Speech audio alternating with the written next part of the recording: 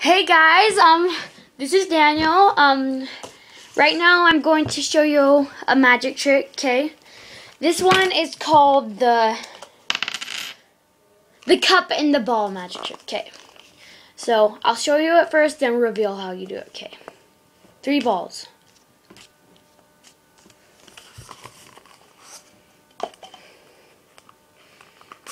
That one's a little hard to get out.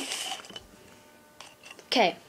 What I'm going to do is I'm going to take this ball, put it on top, get this cup, put it on top, that cup, wave my hand in, the ball melted through. Okay, now let's do that again. Okay, this time I'll put this one on top, that cup, that cup. Now there should be two balls under, right? Two balls. Okay, well, let's try this one.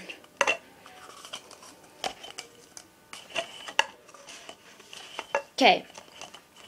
I'll put this ball on top of this one, this cup on top, and then it melts through then.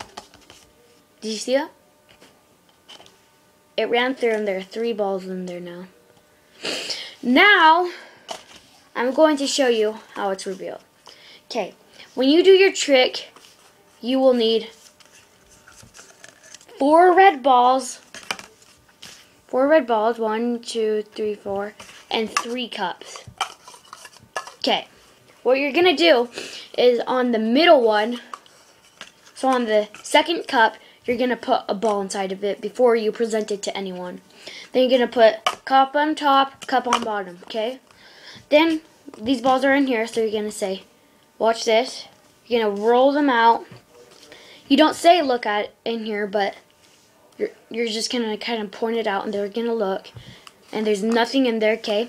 And when you hold it, you're going to put your palm facing upwards toward the ceiling, okay? Then you're going to put your, it's going to go in between your thumb and your index finger. So you're going to put that there. And you're going to grab it like this and flip it, okay? They all have to be the same speed because if this one goes slow, the ball falls out and it ruins the trick, okay? So, they all have to be going the same speed, okay? So, but you don't want, like what I did was I pointed it and they saw it. You just want to, not too quickly flip, but just a normal flip. Then when you put this one on top, you're going to put a cup on the top and a cup on top of that one, okay? Then you're going to lift it up. Well, you're going to wave your hand and say that it melted through. But actually, was just already there when you flipped it. Okay, so then you're like, oh, let's do it again. But since you put that one ball that was right here on top of a cup, it's right there in that cup. So you're going to say, let's do it again. So you flip it over, same speed every time. This time you're going to flip it on top of that red one. Okay. Going to put this ball on top. Put that one on top of it. And you say, I'm the ball's going to melt through. That means there should be two. Then you're going to lift it up, and look, there are two balls. But since you put that ball on top of this cup, that means there has to be a cup and a ball in there. Okay? So you're going to be like, okay, one more time. You're going to keep doing it. Well, that time didn't work. But you know what I mean. Keep doing it, okay? And then you're going to put this ball on top of this ball, not the one with the three balls on in it.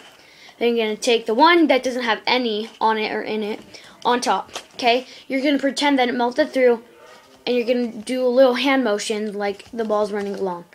And then you might say, hey, did you see it or something? And then they'll be like, what, what? No. And then you'll lift it up and there'll be three balls under.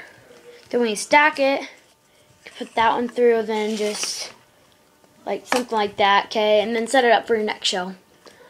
So, this is Daniel. Thanks for watching.